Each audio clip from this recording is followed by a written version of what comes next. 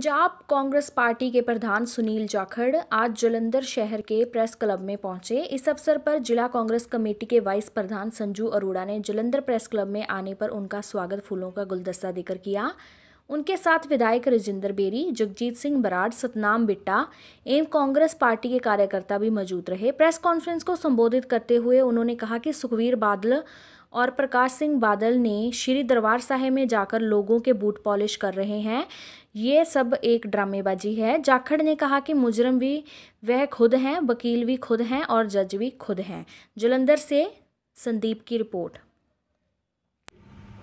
ਇੱਕ ਵਾਰ ਫੇਰ ਅਕਾਲੀ ਦਲ ਦੇ ਪ੍ਰਧਾਨ ਤੇ ਉਹਨਾਂ ਦਾ ਸਾਰਾ ਕੁੰਬਾ ਸਾਰੀ ਮਰਿਆਦਾਵਾਂ ਤਾਕ ਤੇ ਰੱਖ ਕੇ ਫੇਰ ਪਹੁੰਚੇ ਖੜੇ ਹੈ ਉਹਨਾਂ ਦਾ ਕੀ ਅਸਰ ਹੋਊਗਾ ਇਸ ਗੱਲ ਦੀ ਹੈ ਕਿ ਪੰਥ ਦੇ ਪਿੱਠ ਤੇ ਛੁਰਾ ਮਾਰਿਆ ਸੁਖਬੀਰ ਜੀ ਨੇ।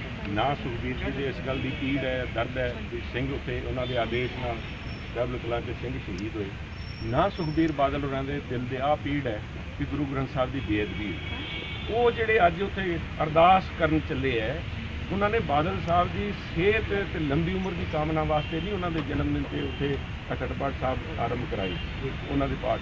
ਉਹਨਾਂ ਨੇ ਕਰਾਏ ਹੈ ਆਪਣੀ ਇੱਕ ਸੀਟ ਲੋਕ ਸਭਾ ਦੀ ਬਚਾਉਣ ਵਾਸਤੇ ਪਰਿਵਾਰ ਦੀ ਉਹਨੂੰ ਬਚਾਉਣ ਵਾਸਤੇ ਲੋਕਾਂ ਨੂੰ ਬੇਵਕੂਫ ਬਣਾਉਣ ਵਾਸਤੇ ਮੈਂ ਫਿਰ ਦੁਹਰਾਉਂਗਾ ਦੇਤੇ ਇਹ ਜੋ ਦੇਤੇ ਹੈ ਭਗਵਾਨ ਕੋ ਧੋਖਾ ਇਨਸਾਨ ਕੋ ਕਿਆ ਕਰ ਦਈਏ ਰੱਬ ਨੂੰ ਧੋਖਾ ਦੇਣ ਦੀ ਕੋਸ਼ਿਸ਼ ਕੀਤੀ ਹੈ ਬਹੁਤ ਜਬਰ ਗੁਨਾਹ ਕੀਤਾ ਉਹ ਜੁਨਾ- ਗੁਨਾਹ ਦਾ। ਜਾਗਰ ਸਾਹਿਬ ਤੁਸੀਂ ਜਥੇਦਾਰ ਸਾਹਿਬ ਨੂੰ ਅਪੀਲ ਕਰ ਰਹੇ ਸੀਗੇ ਕੀ ਅਪੀਲ ਕੀਤੀ ਹੈ ਤੁਸੀਂ? ਦੇਖੋ ਪਬਲਿਕ ਲਾਈਫ ਦੇ ਵਿੱਚ ਇਹਨਾਂ ਨੇ ਧਰਮ ਦਾ ਨਾਮ ਇਸਤੇਮਾਲ ਕਰਕੇ 10 ਸਾਲ ਤਾਈਂ ਰਾਜ ਕੀਤਾ ਪਬਲਿਕ ਲਾਈਫ ਦੇ ਕੀਤਾ ਲੋਕਾਂ ਦੀ ਨੁਮਾਇੰਦਗੀਆਂ ਪੰਥ ਦੇ ਨਾਂ ਤੋਂ ਕੀਤੀਆਂ।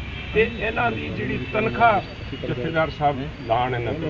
ਆਹ ਜੋੜਿਆਂ ਵਾਲੀ ਸੇਵਾ ਸਾਰੇ ਜਾ ਕੇ ਕਰਦੇ ਆ। ਆ ਜ਼ਬਰ ਗੁਨਾਹ ਇਹਨਾਂ ਨੇ ਜਿਹੜਾ ਕੀਤਾ, ਉਹਦੀ ਤਨਖਾਹ ਲਾਈ ਜਾਵੇ। ਤੇ ਤਨਖਾਹ ਜਿੰਨੇ ਸਾਲ ਇਹਨਾਂ ਨੇ ਧਰਮ ਦਾ ਨਾਮ ਇਸਤੇਮਾਲ ਕੇ ਰਾਜ ਕੀਤਾ ਉਹਨੇ ਸਾਲ ਵਾਸਤੇ ਪਬਲਿਕ ਲਾਈਫ ਤੋਂ ਜ਼ਿੰਮੇਵਾਰੀ ਤੋਂ, ਰਾਜਨੀਤੀ ਤੋਂ ਤੇ ਧਰਮ ਦੀ ਇੰਸਟੀਟਿਊਸ਼ਨ ਤੋਂ ਇਹਨਾਂ ਤੋਂ ਛੇਕਿਆ ਜਾਵੇ। ਵੀ 10 ਸਾਲ ਤਾਈਂ ਇਹ ਨਾ ਤਾਂ ਰਾਜਨੀਤੀ 'ਚ ਹਿੱਸਾ ਲਊਗਾ ਪਰਿਵਾਰ, ਨਾ ਹੀ ਕਿਤੇ ਧਾਰਮਿਕ ਕਿਸੇ ਸੰਸਥਾ ਦੇ ਵਿੱਚ ਹਿੱਸਾ ਲਊਗਾ।